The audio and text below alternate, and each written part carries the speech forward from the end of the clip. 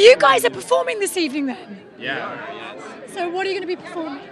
A song called Diaper Money from our new album.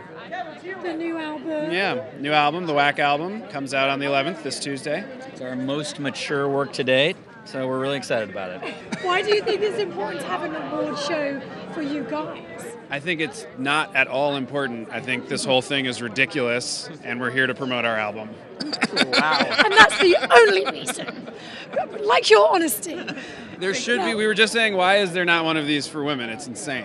Is there not? A ladies' I don't think so. We're like, yeah, where they like do like best dude buns, and like guys have to come in skimpy outfits and Yeah, we, we, humiliate themselves. we would show up and be asked not to take off our shirts. Do you think um, Man of Steel is the most anticipated movie of the summer? Do you believe that to be true? There's no such thing as manticipation. That is a made-up word by the Guy's Choice Award. This is a ridiculous farce. Men have it so easy. It's insane that there's a show that celebrates them. Are they actually allowing you to perform this evening? Yeah, You're yeah. just knocking this whole award Our show. song's pretty anticipated, though. I will say, our album is pretty anticipated. Suddenly there's a word. Suddenly it means something when you bring it back to your album. So you are nominated for new girlfriend. You're not new girlfriend, you're engaged. Which, What's what going on? mean? Whose girlfriend am I? I honestly have no idea what this award means. You're, well, you're not here. John's not here tonight, so you could. No. Whose whose girlfriend do you feel like being this evening? Who's that guy? Right there. I'm in.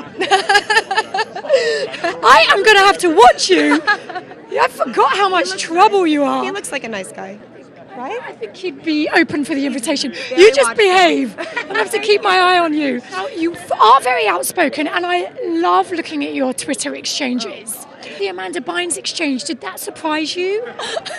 It really did.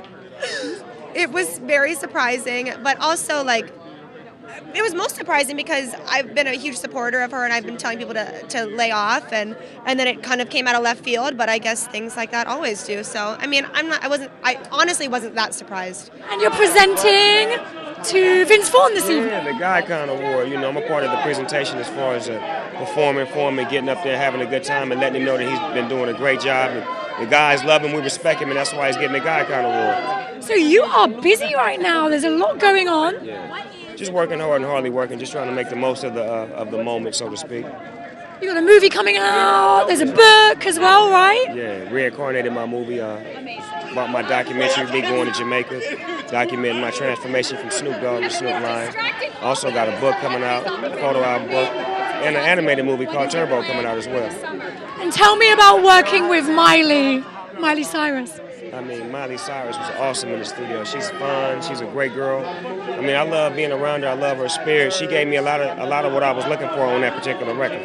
Thank you for watching Extra on YouTube. And for 24 7 updates on celebrity news, subscribe to our channel here, like us on Facebook here, or follow us on Twitter here.